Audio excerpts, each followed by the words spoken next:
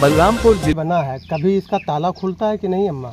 अब तलवा बा जब सुबह कहा था कि जब कोई आई तब भाई खुली। अब और बस ही खुला तो आप लोग इसमें गई हैं कभी यूज़ किए हैं कि नहीं अम्मा? नहीं हम सुबह ना आएगा ना भैया। अच्छा जाती नहीं है। हाँ। ताला आप लोग जब जैसे जाना होता है तो इसमें ताला लगा रहता है कि खुला रहता ताला लगा रहे हमसे तो जाते ही नहीं हैं है। हाँ हम हमसे नहीं जाए थे अच्छा नहीं जाता। हाँ, हमसे जाते ही नहीं अब गाँव की आपकी साफ़ सफ़ाई की क्या व्यवस्था है अम्मा? कुछ गाँव में है कुछ नहीं सफ़ाई हुआ था। नहीं सफ़ाई होती हाँ। अम्मा बाढ़ आया था तो दवा ववा वितरण हुआ कि नहीं? नहीं बाबा, क्या मामला है? ये शौचालय का और सामुदायिक स्वास्थ्य यहाँ जो स्वास्थ्य विभाग का जो भी बिल्डिंग बना है अब तक इसकी स्थिति आप खुद देख सकते हैं। बहुत जर्जर अवस्था में है।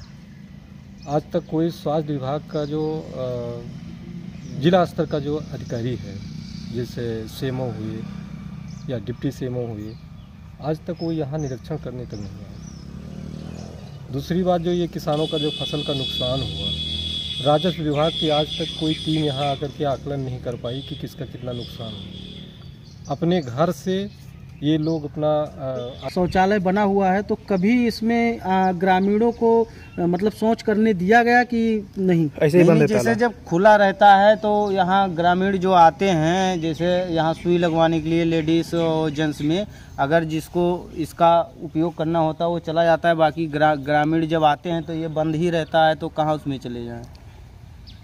तो ज़्यादातर बंद रहता है हाँ। ज़्यादातर बंद रहता है। इसमें मेन चीज़ ये है शौचालय आयुष्मान भारत ग्राम पंचायत पूरा उसमें साफ़ सफ़ाई नहीं हो रहा। इसको चेक करा के जो है नियमतः उसको खुलवाया जाएगा। साथ में जो है गाँव वालों से शिकायत आई है कि वहाँ पे साफ़ सफ़ाई नियमित नहीं हो रही है जिसको सफ़ाई कर्मचारी लगा के नियमित सफ़ाई कराई जाएगी। कोई काम नहीं करवाया गया है।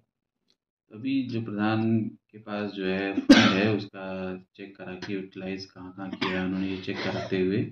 और अगर विकास कार्य नहीं हो रहे हैं तो उनको निर्देशित किया जाएगा कि इस पर जो है फोकस करते हुए कार्य करें। ठीक धन्यवाद।